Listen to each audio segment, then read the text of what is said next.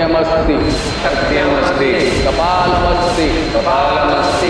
रक्तं समर्पयामि। रक्तं समर्पयामि। भगवते समयनन्द। भगवते समयनन्दा। दृश्यो भवामि दृश्यो भवामि चैतान् विभूतियं समर्पयामि यथान् विभूतियं समर्पयामि। यश यश मम स्वाहा। यशि यशि मम स्वाहा। पश्यति तं तं कलं स्वाहा। but the day of the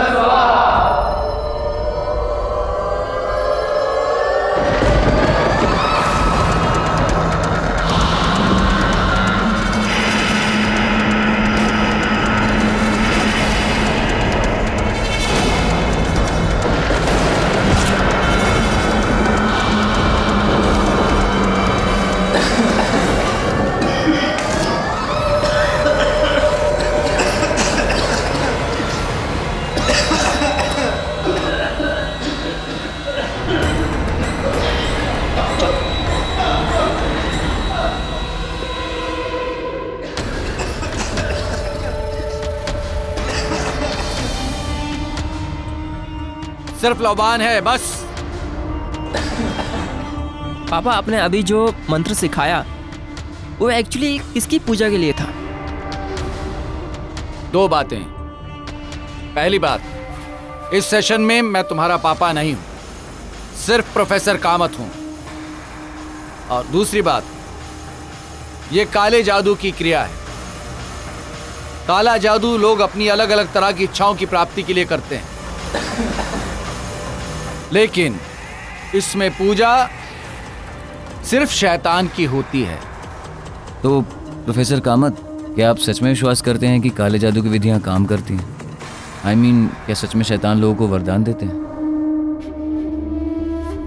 प्रकाश प्राचीन साहित्य में ऐसे कई व्यक्तियों का उल्लेख है जिन्होंने शैतान की पूजा करके अपनी अलग अलग इच्छाओं को पूरा करने का वरदान प्राप्त किया है। कई लोगों का दावा है कि वो लोग अमर हो चुके हैं। अमर। और समाज की भीड़ में छिप के रह रहे हैं। अब तुम इसे कहानी समझो या सच it all depends on you और हाँ, ऐसे भी उदाहरण हैं कि भगवान से पहले शैतान अपने भक्तों की सुनता है।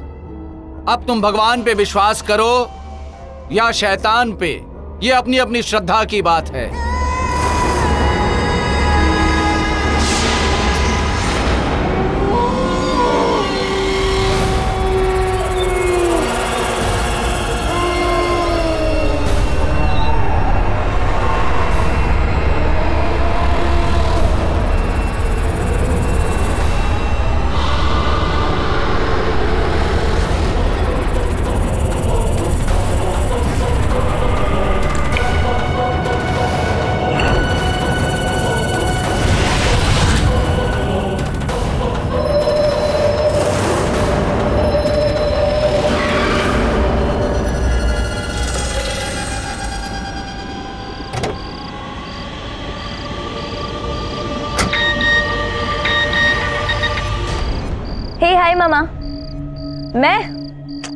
अब जस्ट डांस क्लासेस से निकली हूँ।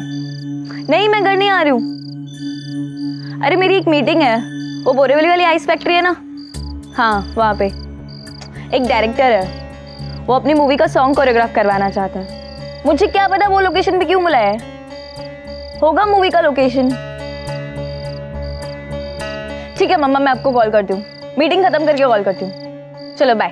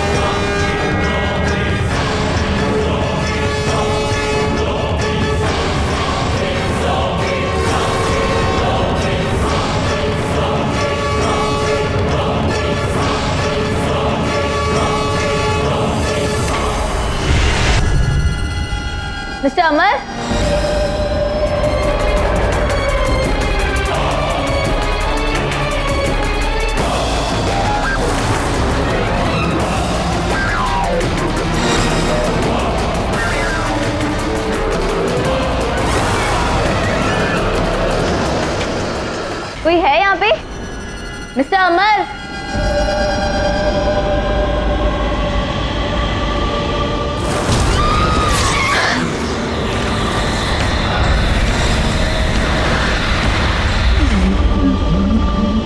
खाना मैंने ही तुझे फ़ोन किया था और मैं अमर नहीं हूँ, पर बहुत जल्द हो जाऊँगा। मैं तेरी बलि अपने शैतान को चढ़ाने जा रहा हूँ।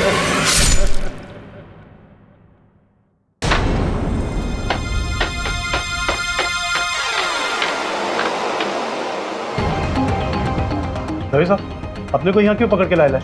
आपको तो पता है ना अपन ने सारा धंधा बंद कर दिया है। अब चार महीने से अपन तो गाँव में था और जैसे ही मुंबई में पैर रखा आपके लोगों ने उठा लिया। ए जबान बंद कर अपनी। अब गलती हो गई साहब। अगर किसी ने मुँह खोला ना तो मुँह में डंडा डाल दूँगा। लेकिन साहब साहब बात तो सुनो साहब हमारी बात तो सुनो साहब। साहब। ओ साहब।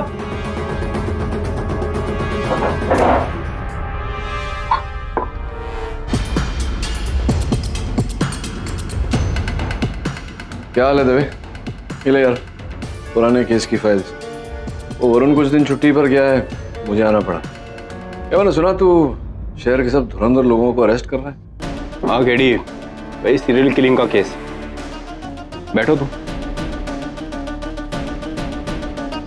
समझ में नहीं आ रहा शहर में खून पे खून हुए जा रहे हैं। अब शहर में जितने लोगों पे शक था मुझे मैंने सबको अंदर कर दिया। उम्मीद है कि अब कोई बुरी खबर नहीं आएगी। दवे तुझे लगता है कि जिन्हें तूने अरेस्ट किया है, उनमें से कोई हत्यारा है? मुझे नहीं लगता। क्योंकि देख, अब तक पाँच हत्याएँ हो चुकी हैं अलग अलग घटनास्थल पर। और किसी भी घटनास्थल से एक छोटा सा प्रमाण भी नहीं मिला। जिसका यह अर्थ होता है कि बहुत शातिर है हत्यारा। हत्या करने के बाद हर एक सुराग बड़ी सुंदरता से मिटा देता है। तू समझ रहे ना मैं क्या कह रहा हूँ? हेलो। क्या?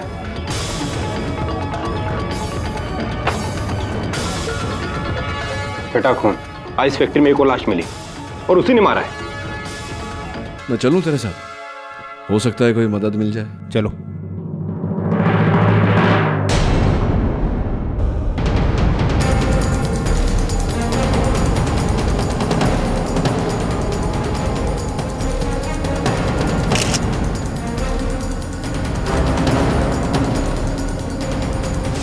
ये तो फ़ेमस कोरियोग्राफर सना है। तब इसमें कोई संदेह नहीं है कि हत्या भी उस सीरियल किलर ने की है। हाँ ये तो क्राइम सीन देखकर साफ़ ज़ाहिर होता है। किलर अपना शिकार करने के बाद मरने वाले व्यक्ति की निशानियाँ उसकी बॉडी के आसपास छोड़ देता है। ये देखो ना तना के कॉस्ट्यूम उसकी फ़िल्म के पोस्टर ये सीडी और गौर करने वाली बात यह है कि उसने तना की बॉडी पे छह बार वार किया है। छह बार? हाँ केडी जिस नंबर का खून किलर उतनी बार विक्टिम पे हमला करता है। जब पहला खून हुआ उसने एक बार हमला किया और दूसरे खून के टाइम उसने दो बार हमला किया और ये छठा खून है। इसलिए उसने सना की बॉडी पे छह बार हमला किया। बस एक बार वो किलर मेरे हाथ लग जाए। मैं उसका वो हाल करूँगा ना। शांत हो जा दवे क्रोध पे नियंत्रण रख। ये तो तय है कि हत्यारा जो भी है बहुत चतुर है। ये जितनी हत्याएँ उसने की है, इसको जोड़ने वाली कोई कड़ी तो अवश्य है। और जब ये कड़ी हमें मिल गई टॉर्च किसका है?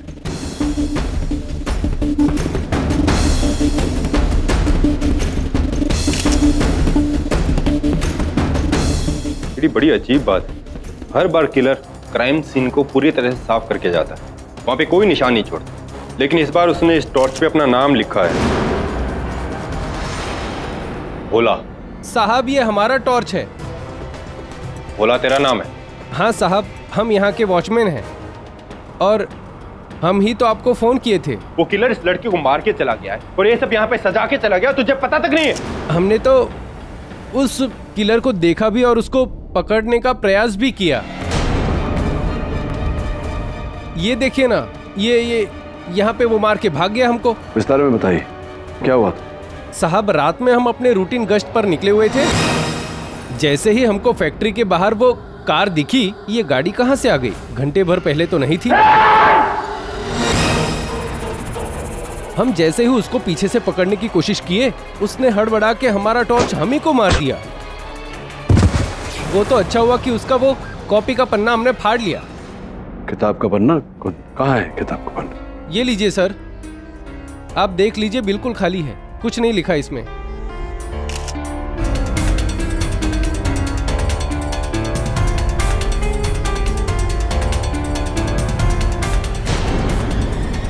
पेंसिल है किसी के पास? पेंसिल दे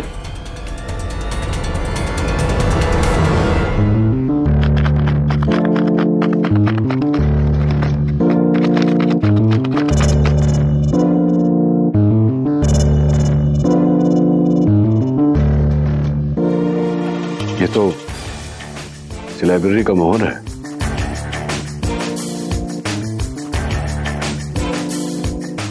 पीडी एक सबूत तो मिल गया। अब नहीं छोड़ूँगा मैं उसे। Kamat academy. Honour crime scene से मुझे और केडी को एक पर्चा मिला, जिस पे कामत अकेडमी का नाम एम्बोस हुआ हुआ। ये पेज किसी किताब का था, और ये किताब प्रोफेसर कामत की लाइब्रेरी से थी। आगे की जाँच के लिए मैं उनके घर गया।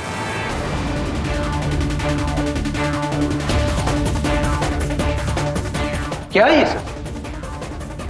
आप सब ऐसे कैसे? इंस्पेक्टर आप हैं प्रोफेसर संजय कामत। जी। एक बात बताइए आपकी एक कामत अकेडमी कहाँ है? यही है मेरा घर ही मेरी अकेडमी। यहाँ मैं बडिंग हिस्टोरियंस को एंशियंट सिविलाइजेशन पे लेक्चर्स देता पूरे घर को छान मारो।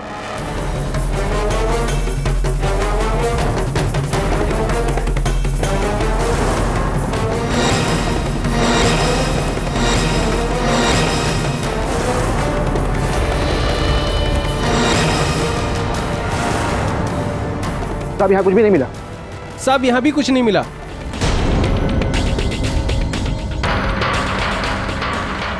तो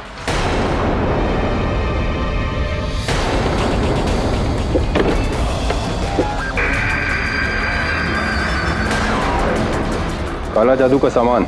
नकली। ये मैं अपने स्टूडेंट्स को लेक्चर्स के दौरान सिखाने के लिए यूज़ करता हूँ दैट्स ऑल ये तो फॉरेंसिक जाँच के बाद ही पता चलेगा कि सिखाने का काम आता है या फिर बलि चढ़ाने के। वैसे आपके घर में और कौन कौन है? मेरी पत्नी है सुधा। दो बच्चे सनी और गीता। स्टूडेंट्स आप देख रहे हैं आते जाते रहते हैं। हाँ एक ड्राइवर है केशव।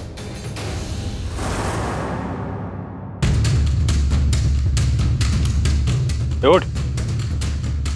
ये केशव। लगता है दारू पी के पड़ा है। उठा इसे।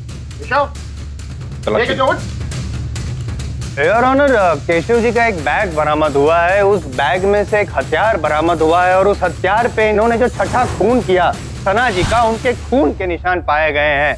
मैंने कुछ नहीं किया साहब। मैं बेकसूर हूँ। मैं माँ की कसम खाता हूँ साहब। मैंने कुछ नहीं किया। लेकिन मैं ये साबित कर दूँगा कि तुम ही खूनी हो और तुम्हें फांसी की सजा मिलेगी। सर, उन्हें सबसे पहले मैं ये बता दूँ कि ब्लैक मैजिक सीखेगा। एक्चुअली प्रोफेसर संजय कामत जो है, वो ब्लैक मैजिक के सेशंस देते हैं, सिखाते हैं ब्लैक मैजिक और जब वो क्लास लेते थे, तब केशव जी बड़ी दिलचस्पी से ये क्लास सारे सुनते थे लेक्चर सुनते थे। और तब इनके सर पे ये भूत सवार हो इनके दिमाग में एक बात आई कि क्यों नहीं? मैं भी वो सारी शक्तियाँ हासिल करूँ जो एक इंसान ब्लैक मैजिक करने के बाद हासिल करता है। क्यों ना मैं भी एक सुपर ह्यूमन बन जाऊँ? इसीलिए उन्होंने एज आई सेट छह खून किए।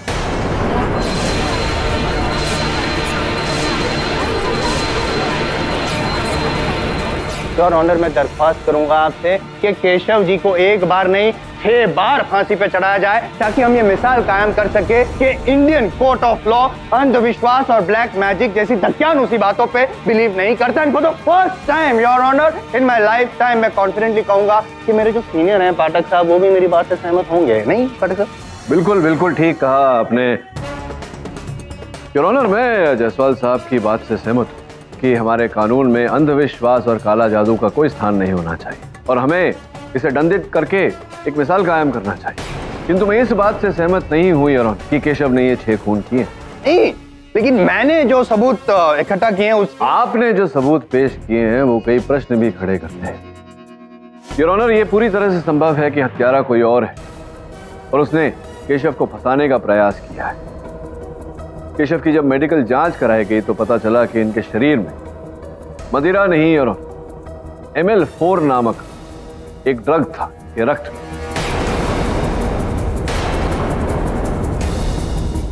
एम एल फोर का सेवन ईयर ऑनर दौलतमंद व्यक्ति ही कर सकता है, क्योंकि इसका एक ग्राम दस हज़ार रुपए से भी ज़्यादा का आता है, जो केशव के बस की बात नहीं। सोचने वाली बात यह है रोनर कि केशव शहर के इन छह व्यक्तियों की हत्या क्यों करेगा? अपने जीवन में ये कभी छह व्यक्तियों से मिला तक नहीं। सीधा साधा साधारण सा ड्राइवर है उनकी हत्या करने का कोई कारण नहीं है इनके पास। द्वितीय बात यह है, जब पुलिस ने केशव की खोली की छानबीन तो उन्हें वो पुस्तक नहीं मिला मिलाया जिस पुस्तक के पन्ने से इस केस का आरंभ हुआ, संभवतः उस हत्यारे को उस पुस्तक की अब भी आवश्यकता है। इसलिए उसने अपने पास रखी है वो किताब। योर ऑनर मैं अदालत से निवेदन करता हूँ कि डिफेंस को प्रश्नों के उत्तर की खोज करने के लिए थोड़ा समय दिया जाए। लेकिन your honour court is adjourn for the day KD क्या तुम्हें सच में लगता है कि केशव निर्दोष है? तू तो जानता है दवे जब तक कोई व्यक्ति दोषी प्रमाणित नहीं हो जाता मैं उसे निर्दोषी समझता हूँ। मैं जो भी हूँ असल हत्यारा जो भी है उसे खोज निकालने के लिए हमें यह जानना ज़रूरी है। कि उसने इन छह लोगों को ही क्यों चुना? बलि चढ़ाने के लिए। रैंडमली चुन लिया होगा। जो जैसे मिला उसको मार दिया। नहीं दवे अगर ऐसा होता तो हत्यारा वो वॉचमैन भुला को भी मार देता जिसके साथ उसकी हाथापाई हुई। लेकिन उसने ऐसा किया नहीं। उसे जीवित छोड़ दिया। सोचने वाली बात है दवे छह व्यक्ति सबसे पहले करण की हत्या जो एक कथक नर्तक था। दूसरा रोशन, जो एक विश्व प्रख्यात एथलीट, तीसरे मिस्टर पटेल जो हीरे के व्यापारी हैं, चौथे कर्नल साहब। पांचवी दिशा अंतर्राष्ट्रीय स्तर में कुश्ती में पदक जीता था ना उसने। और छठी सना जो भी एक नर्तकी थी। सब अलग अलग की आयु अलग, व्यवसाय अलग, व्यक्तित्व अलग। पर केडी इन सब में क्या कॉमन होगा ऐसा? कोई ना कोई तो समानता होगी। क्या इनकी इनकी हत्या क्या कोई निर्धारित समय पर की गई थी दिन के या रात के? नहीं नहीं केडी सबकी हत्याओं की टाइमिंग अलग अलग ये देखो इस फ़ाइल में सब कुछ है।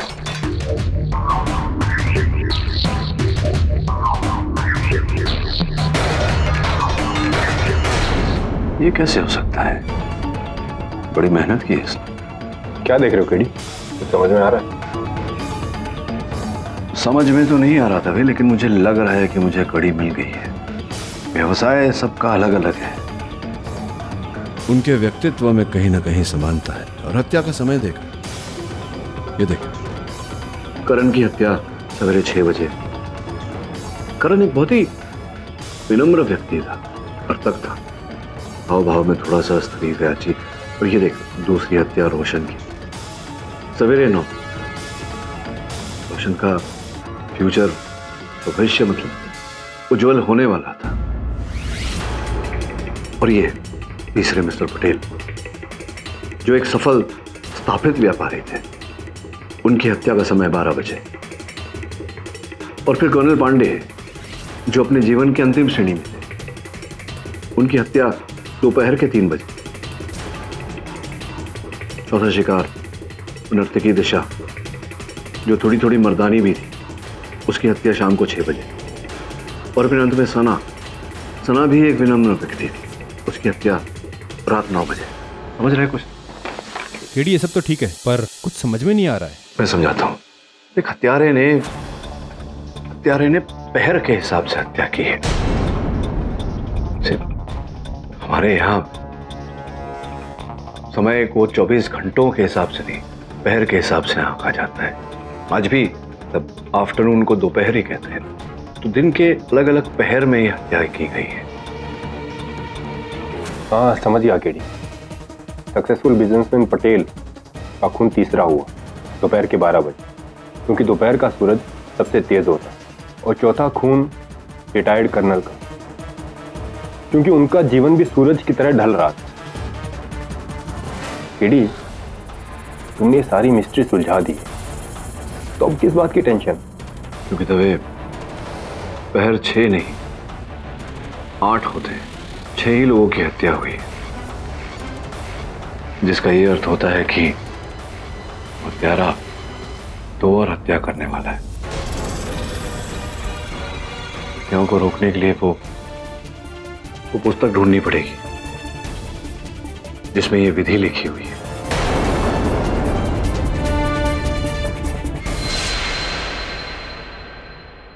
कामत साहब वो पुस्तक का पन्ना जो सीरियल किलर ने सना के हत्या के घटना स्थल पर छोड़ा। वो संभवतः आप ही के किसी पुस्तक का है ऐसा दवे साहब का मानना है। क्या हम देख सकते हैं वो पुस्तक? वो एक्चुअली वो किताब मेरी लाइब्रेरी से गायब है। चुरा ली किसी ने। अच्छा पुस्तक? चुरा ली ये आप ही की पुस्तक है आपको उसका शीर्षक तो याद होगा कहीं ये तो याद होगा कि वो समय से संबंधित है या नहीं। आपको कैसे पता चला? उस बुक का टाइटल था समय। काल की ढाल काल की ढाल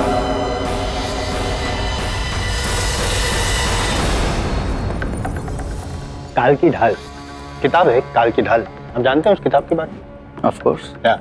क्या आप अपने स्टूडेंट्स को उसी किताब में से कुछ मतलब सिखा रहे थे कोई लेक्चर वगैरह ऐसा कुछ हुआ? जी जी हाँ। कितने समय यही कोई महीना डेढ़ महीना पहले। एक डेढ़ महीना पहले जब आप ये किताब में से सिखा रहे थे अपने स्टूडेंट्स को तब क्या केशव जी आपके ड्राइवर जो हैं वो वहाँ मौजूद थे? जी मौजूद था। केशव बहुत इंटरेस्ट भी ले रहा था अब की बार। बल्कि उसने इस विधि के बारे में एक दो सवाल भी पूछे थे मुझसे। प्रोफेसर साहब माफ़ करना इस विधि के बारे में मैं कुछ पूछ सकता हूँ क्या? हाँ पूछो क्या बात है? आप बता रहे थे कि बलि चढ़ाने का भी एक तरीका है। वो कौन सा तरीका है? योर ऑनर ये जो काल की ढाल किताब है जो कामत साहब अपने स्टूडेंट्स को पढ़ा रहे थे उन सबको पता था कि इतिहास के बारे में वो लोग पढ़ रहे हैं जानकारी हासिल कर रहे हैं लेकिन केशव जी जो है वो उनके फ्यूचर के बारे में जानकारी हासिल कर रहे थे सेम टाइम मतलब ये जो काला जादू से जो शक्ति प्राप्त होती है, वो शक्ति कैसे खुद में आए? उसके लिए वो दो चार सवाल भी पूछा इंटरेस्ट ले रहे थे काला जादू के तहत। वो पावर हासिल करने के लिए उन्हें छह लोगों की बलि चढ़ाई और एक बार फिर कहूँगा मैं योर ऑनर कि इस बार भी पाठक साहब मेरी बात से सहमत होंगे। अद्भुत बात है जयसवाल साहब। अद्भुत बात है कि इस बार भी मैं आपसे सहमत और असहमत भी। योर ऑनर अब तक इस केस में इतना तो सिद्ध हो चुका है कि ये हत्याएँ काली जादू की विधि को पूरा करने के लिए की गई थी बलि चढ़ाने के लिए। ये भी सिद्ध हो चुका है कि हत्यारा उस पुस्तक में जो लिखी हुई विधियाँ हैं उस पर विश्वास करता है। किंतु दुर्भाग्यवश जायसवाल साहब ये नहीं सिद्ध कर पाए हैं कि हत्यारा केशव ही है। क्या मैंने मतलब क्या प्रमाणित मैंने क्या ऐसा मतलब मैं बताता हूँ आप आप बताइए कामत साहब ये जो ये जो पुस्तक है काले जादू पे समय काल की ढाल ये आप ही के ग्रंथालय से चोरी हुई। जी। तो क्या कौन सी कौन सी भाषा में कौन सी लिपि में है ये पुस्तक? जी वो ब्राह्मी लिपि में। ब्राह्मी लिपि में है ऑनर अब मेरा मुवक्किल केशव बेचारा हिंदी भाषा भी बड़ी कठिनाई से पढ़ लिख पाता है ये ब्राह्मी भाषा पढ़ना इसकी क्षमता में ही नहीं है क्या लगता है आपको ये पढ़ सकते हैं? नहीं नहीं आता शायद। नहीं नहीं शायद नहीं। पढ़ सकते हैं या नहीं? नहीं आता है। इनके ग्रंथालय से जो पुस्तक चुराई गई थी समय काल की ढाल जो ब्रह्म लिपि में लिखी गई है योर ऑनर उसकी एक कॉपी इंटरनेट पर भी अपलोड की गई। मैंने उसे विस्तार से पढ़ा और उसमें एक खामी पाई। योर ऑनर उस पुस्तक में समय पर किस तरह से काबू किया जाता है ये नहीं लिखा। ये जानकारी भी मुझे प्राप्त हुई कि समय पर काबू करने के लिए गेंडे के सिंह से बने हथियार से हत्याएँ करनी पड़ती हैं।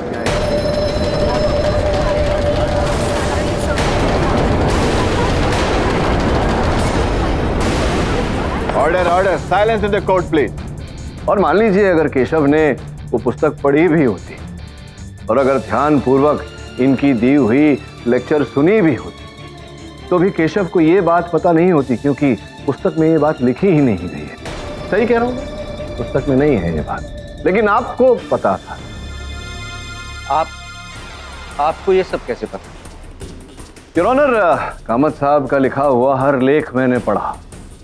इन्होंने ये भी लिखा है कि कोई भी काला जादू पे पुस्तक पूरी नहीं होती उसमें पूरी जानकारी नहीं होती। इसका कारण यह है कि कोई इसका दुरुपयोग न करे। एक अलग लेख में इन्होंने ये भी लिखा है कि कड़ी अनुसंधान के बाद इन्होंने इस काला जादू की विधि को पूर्ण रूप से समझा है तो क्या ये कहना ठीक रहेगा कामत साहब कि समय पर नियंत्रण पाने के लिए गेंडे के सिंह से बना हुआ हथियार का उपयोग करना ये बात केवल और केवल आप जानते हैं। ये तो सिर्फ़ मैं जानता हूँ। आप कैसे जानते हैं इसके बारे में? योर ऑनर जब मुझे संदेह हुआ कामत साहब पे तो मैंने इंस्पेक्टर दवे से निवेदन किया कि इनके अतीत की छानबीन करें। छानबीन करते समय इंस्पेक्टर दवे ने इनके पर्सनल कंप्यूटर में भी झांका तो पाया कि जिन छह व्यक्तियों की बलि चढ़ाई गई, उन व्यक्तियों पर कामत साहब ने गहरे रूप से रिसर्च किया अपने पर्सनल कंप्यूटर पे। क्या मैं सही कह रहा हूँ? या सही कह रहा हूँ, कामत साहब?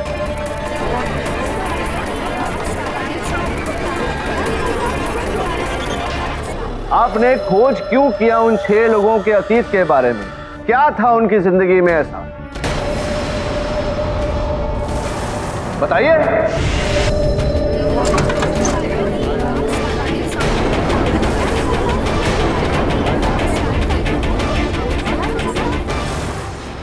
क्या बात है किली मानना पड़ेगा।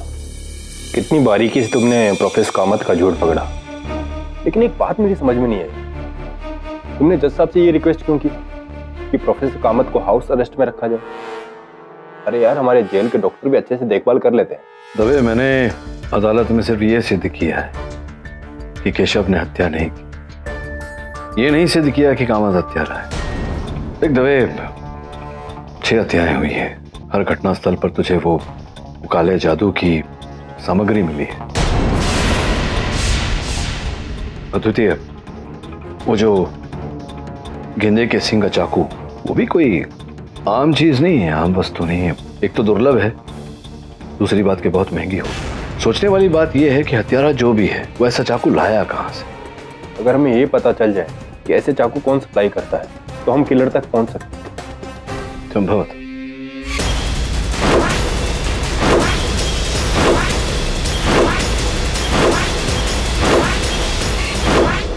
बाबा बंगाली। बाबा बंगाली?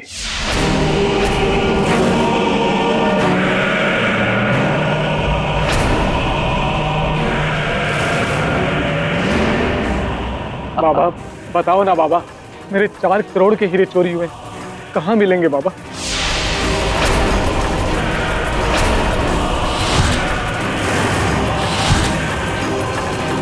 बच्चा तुम्हारे हीरे तुम्हारे ही मुलाजिम ने चुराए ले समझो वो हीरे मिल गए हमें। मिल गए? कहाँ है हीरे बाबा? तुम्हारे हीरे तुम्हारी जेब में है तलाशी ले लो।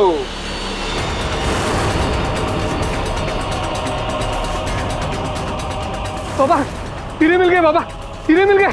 बंगाली बाबा की जय, बंगाली बाबा की जय।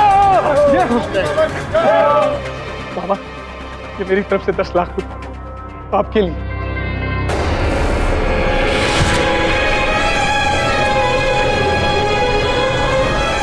बाबा से जो मांगो वो दे देते हैं। बस दिल खोल के दान करो। जय बाबा की।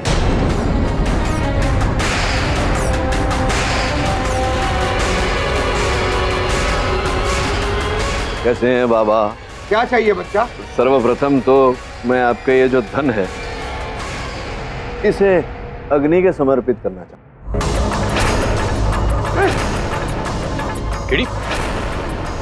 ये ये ये क्या कर अरे! ये क्या कर रहा था? ये नोट नकली है दबे बिल्कुल उस सुनार की तरह। तुम्हें कैसे पता? मैंने देखा बाबा उसके हाथों में दो सौ रुपए की घड़ी बैंकॉक वाली। दस लाख रुपए यूँ ही दे दिए आपको उसने। उन हीरो के लिए जो आपने उसे दिए लेकिन उसने परखे ही नहीं। अरे सुनार की संतान भी उसे कोई चीज़ देती थी वो परख लेता है। लेकिन नहीं उसने ऐसा नहीं किया। मतलब आप ही का रचा हुआ ये खेल है। आप लोग कौन है? न्यूज़पेपर वाले हैं क्या? नहीं ससुराल वाले। तुझे ले जाने आए हैं? अरे हाँ गलती हो गई। मैं मैं ये चोरी चकारी का धंधा ये सब धंधा कल से बंद। पक्का था। ये धंधा तो बंद हो ही गया समझो। माफ़ी भी दे देंगे। लेकिन अगर एक प्रश्न का उत्तर दो तो? हाँ। ये गेंडे के सिंह का हथियार। ये किसे बेचा था? नहीं नहीं साहब। मैं ये धंधा बिल्कुल नहीं करता था तो ये यूँ नहीं मानेगा। इन्हें दान प्रदान करना पड़ेगा। बोल। क्या दूँ और दान? याद आया। दो महीने पहले की बात है। एक कस्टमर बार बार ईमेल कर रहा था। दस पंद्रह ईमेल भेजे थे जीत पकड़े बैठा था। उसी को दो महीने पहले बेचा था साहब टेक्नोलॉजिकल बंगाली बाबा है मतलब लैपटॉप भी होगा। लाओ लाओ। आजकल इंटरनेट का जमाना है ना तो सारे ऑर्डर नेट पे ही होते हैं। वो क्या है ना पेमेंट भी डायरेक्ट हो जाते हैं, कोई लफड़ा ही नहीं था। पता लगा बाबा के अकाउंट से किसका पैसा आया था। हाँ ठीक है। फिर एक महीने पहले बाबा के अकाउंट में पचास हज़ार रुपये ट्रांसफ़र किए गए थे। और जिस आईपी एड्रेस से ट्रांसफ़र हुआ वो प्रोफेसर कामत के घर का है। तो ये हत्यारे के पास अपनी विधि पूरी करने के लिए समय बहुत कम बचा है। और बहुत शीघ्र सातवीं हत्या भी करेगा। मार डालूँगा तुम सबको। अगर मेरे पापा के बारे में कुछ भी कहा तो, तो तो सही तो कह रहे हैं। चल चल। हटो क्या हो रहा है सब? केडी पाठक ये सब आपकी वजह से हो रहा है। सब लोग ये समझते कि वो काला जादू करते हैं। और ये ये कल तक जो उनकी रिस्पेक्ट करते थे आज उनके नाम का मज़ाक उड़ा रहे हैं सिर्फ़ आपकी वजह से। अबे जा। सब जानते हैं कोर्ट में तेरे पापा से सवाल पूछे गए और वो डर गए। और हो ना हो सीरियल किलर वही है। तो शर्म आनी चाहिए आप लोगों को। वो हत्यारे हो या ना हो अपने गुरु के बारे में ऐसा बोलना पाप होता है। तुम्हारे पिताजी कहाँ हैं? सर अंदर है। तो तुम लोग यहाँ क्यों खड़े? जाओ। ये खून बह रहा है तुम्हारे हाथों से। सर ये मेरा खून नहीं है।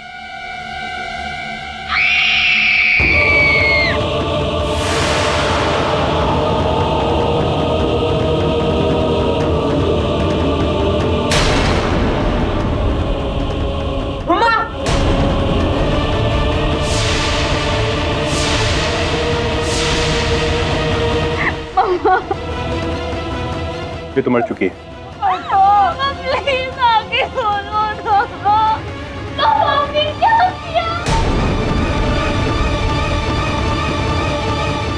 तो देख लिया हाउस अरेस्ट करने का नतीजा।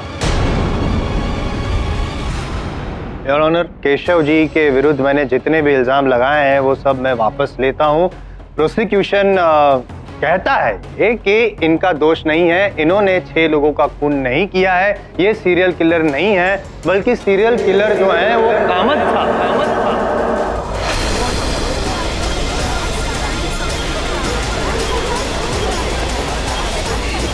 ऑर्डर ऑर्डर कामत साहब को पाठक साहब ने और दवे ने रंगे हाथों पकड़ा है। हाँ मतलब आप क्या ये बलि चढ़ा रहे थे? छह लोगों की चढ़ा दी सात लोगों की अपनी बीवी की भी बलि चढ़ा दी। नहीं मारा मैंने अपनी सुधा को। अरे जायसवाल साहब सुनिए ना। कमाल हो कर दिया आपने हाँ। योर ऑनर मैं जसवाल साहब की इस बात से सहमत हूँ कि इंस्पेक्टर दवे और मैं रात में तीन बजे कामत साहब के घर गए थे। हमने वहाँ इन्हें देखा और हमारे वहाँ पहुँचने से पहले इनकी पत्नी सुधा जी की हत्या हो चुकी। लेकिन ये बात सत्य नहीं है मैं इस बात से सहमत नहीं हूँ कि हमने कामत साहब को रंगे हाथों पकड़ा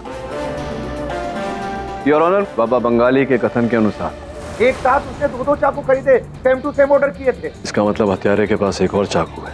योर ऑनर हत्यारे ने गेंदे की सिंग से बने दो चाकू लिए थे। ये सोचकर कि अगर पुलिस उस तक पहुँचने वाली हो तो वो एक हथियार केशव के कक्ष में रखकर केशव को फंसाएगा और पुलिस की इन्वेस्टिगेशन को भटका देगा। लेकिन कामत जी जो दूसरे हथियार के साथ अपनी बीवी की लाश के पास जो पाए गए उसका क्या? फोरेंसिक्स की रिपोर्ट जो आपकी मेज पर रखी हुई है योर ऑनर उसमें स्पष्ट रूप से लिखा हुआ है कि सुधा जी की हत्या गेंडे के सिंह से बने हथियार से ही की गई। केवल इतना ही नहीं है जब कामत साहब की मेडिकल जाँच करवाई गई तो इनके लहू में भी वही ड्रग एम एल पाया गया जो केशव के लहू में मिला था। जिसका ये अर्थ है योर ऑनर के हत्यारे ने सर्वप्रथम कामत साहब के अंदर एम एल ड्रग का प्रवेश किया। तत्पश्चात इन्हें पता ही नहीं था कि ये क्या कर हत्यारे ने सुधा जी की हत्या की इन्हें वहाँ बिठाया और वहाँ से फरार हो नहीं नहीं नहीं मैं मैं मैं भी यही पूछना चाह रहा हूँ योर ऑनर कि अगर हत्यारे ने हत्या की और कामत जी को फंसाना चाहता था तो वो गेंडे के सींग वाला हथियार जो था वही उनके हाथ में थमा के चले जाता। नकली वाला हथियार क्यों? आप अपना होमवर्क कर रहे होते तो आपको पता होता कि ये जो हथियार कामत साहब के हाथों से प्राप्त हुआ था योर ऑनर ये गेंडे के सींग का बना ही नहीं। बैल के सिंग का बना हुआ हथियार है। इसकी रिपोर्ट आपकी मेज पर रखी नहीं नहीं मैं मैं मेरा मेरा सवाल ये है कि किलर ने सुधा जी को ही क्यों चुना? योर ऑनर सर्वप्रथम तो मैं ये बताना चाहता हूँ अदालत को कि हत्यारा जो है उसने हथियार की फेरबदल की क्योंकि उसे एक और हत्या करनी उसका काम पूरा नहीं हुआ।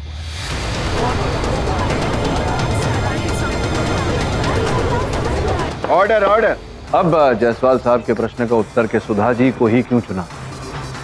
इस केस में स्थापित हो चुका है। कि हत्यारा समय के अनुसार हत्याएँ कर रहा है। पहर के अनुसार। जितनी हत्याएँ हुई वो सब पहर के अनुसार हुई। सुधा जी की हत्या सातवें पहर में हुई। अर्थात 12 से 3 के बीच। रात में 12 से 3 का समय सबसे शांत समय माना जाता है यहाँ। इसी कारण हत्यारे को बहुत ही शांत व्यक्ति की आवश्यकता थी। योर सुधा जी अपने शांत स्वभाव के लिए जानी जाती थी। इसी कारण हत्यारे ने सुधा जी को चुना। इस स्तर पर मैं अदालत को बताना चाहता हूँ कि हत्यारे का काम पूरा नहीं हुआ है। आठवां पहर, अर्थात तीन से छह बजे का पहर अब भी बाकी है। उसमें हत्यारा आठवीं हत्या करना चाहता है, किंतु योर ऑनर समय बहुत ही कम है उसके पास।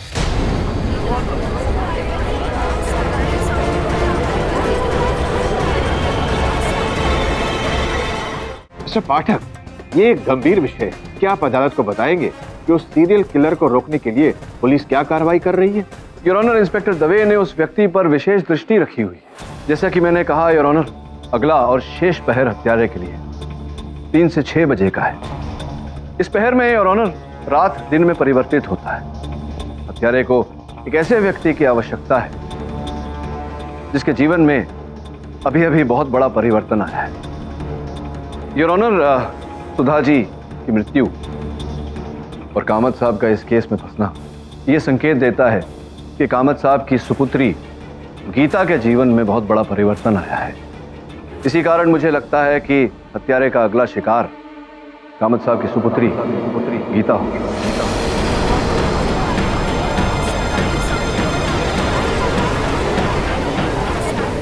ऑर्डर ऑर्डर हत्यारे के पास समय बहुत कम है। अपनी विधि पूरी करने की। मुझे पूरा संदेह है कि आज सुबह हत्यारे ने गीता को मारने का प्रयास किया होगा। और अगर ऐसा है तो बहुत जल्द इंस्पेक्टर दवे असल हत्यारे को लेकर अदालत में आते ही होंगे। एक मिनट जेन्यूनली मैं जेन्यूनली एक बात ऑब्जर्वेशन है मेरा। मेरा योर ऑनर जैसे पाठक साहब ने कहा, दवे यहाँ पे कोर्ट में नहीं है, गीता भी कोर्ट में नहीं है, लेकिन एक और व्यक्ति है जो कोर्ट में नहीं है, और वो है सनी। सनी, जो कामत जी का बेटा ही नहीं, उनका स्टूडेंट भी है ब्लैक मैजिक भी सीख रहा है। इसका मतलब ये हुआ कि Sunny is a serial killer उसने पहले मदर को मारा और फिर अपनी बहन योर ऑनर जायसवाल साहब ने प्रश्न तो उचित पूछा। पहले हमें भी ये संदेह था कि संभवतः सनी ही असल हत्यारा है, क्योंकि अपने अपने पिताजी के रुपयों का उपयोग करके वो ये हथियार खरीद सकता था बाबा बंगाली से। वो इनके छात्र भी थे और जहाँ जहाँ कामत साहब अपनी पुस्तक रखते थे। सनी को ये पूरा अधिकार था कि इनके कक्ष में जाकर कोई भी पुस्तक ले सके। फिर मेरे मन में ख्याल आया कि ये अधिकार तो कामत साहब ने अपने हर छात्र को दिया है यहाँ कि इनके पुस्तकालय में जाकर कोई भी पुस्तक पढ़ना, या वहाँ से कोई भी पुस्तक लेने का अधिकार इन्होंने अपने हर छात्र को दिया है। केवल इतना ही नहीं है सनी, जब बाकी छात्रों के साथ लड़ रहे तो सनी के हाथों में खून लगा हुआ सर ये मेरा खून नहीं है। उन्हीं बदतमीजों में से किसी का है। तभी कुछ कुछ आभास हुआ यार ऑनर की असल हत्यारा?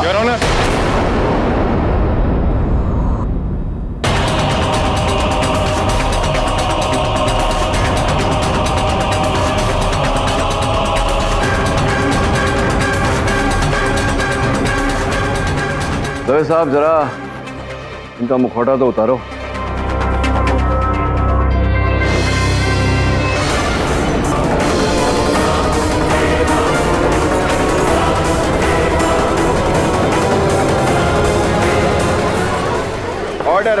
योर ऑनर मैं पिछले दो दिनों से गीता और सनी पर नज़र रख रहा हूँ और आखिर केडी के बताए समय के हिसाब से आज सुबह किलर ने गीता को मारने की कोशिश की। आप क्यों चले गए?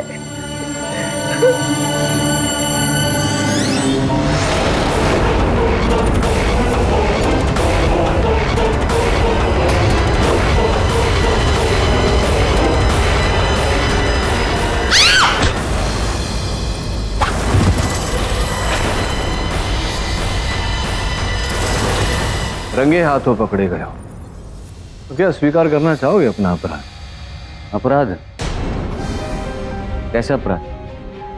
शैतान की पूजा करना तुम लोगों के लिए अपराध होगा, लेकिन मेरे लिए तो मेरी श्रद्धा है। क्यों, प्रोफेसर कामत? आपने कहा था ना कि श्रद्धा की बात है। मानो तो भगवान, और मानो तो शैतान।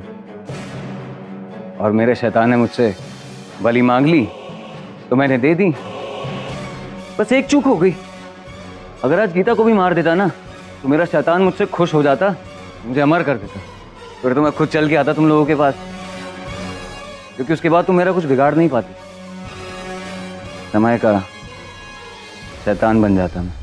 तुम जैसे व्यक्तियों की वजह से तुम जैसे व्यक्तियों के कारण, ये अंधविश्वास का रोग जो फैला हुआ है हमारे देश में, वो आज भी मिठाना कठिन हो रहा है। डिफेंस रेस्ट योर ऑनर तमाम गवाहों और सबूतों के मद्देनजर यह अदालत प्रकाश को सात लोगों के कत्ल में दोषी पाते हुए उम्र कैद की सजा सुनाती है।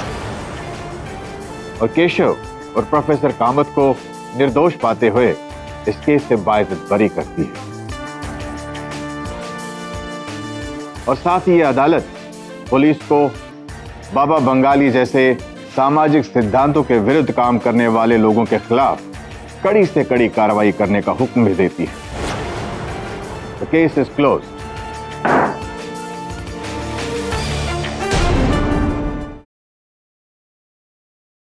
for more update subscribe to our channel click the show links and enjoy watching the videos